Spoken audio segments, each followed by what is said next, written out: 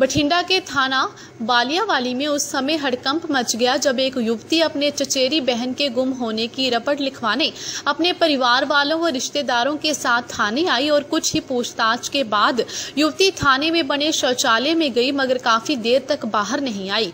जब इस बात की जानकारी युवती की माँ ने पुलिस व परिवार वालों को दी तो थाने की महिला कांस्टेबल ने शौचालय के ऊपर बने रोशनदान से देखा तो युवती ने अंदर अपनी चुनरी के साथ फंदा लगाया हुआ था और दरवाज़ा तोड़कर जैसे तैसे युवती को बाहर निकाला गया, तब उसकी साँसें चल रही थी, मगर अस्पताल ले जाते समय रास्ते में युवती ने दम तोड़ दिया। पुलिस ने पूरे मामले की जाँच के बाद एक सौ चौहत्तर की कार्रवाई कर शव का पोस्टमार्टम करवाकर परिजनों को सौंप दिया है। ना तो थाने में किसी ने इनको बुलाया था, ये खुद ही अपनी रिपोर्ट करवाने ये वाक्य भी पटियाला का है।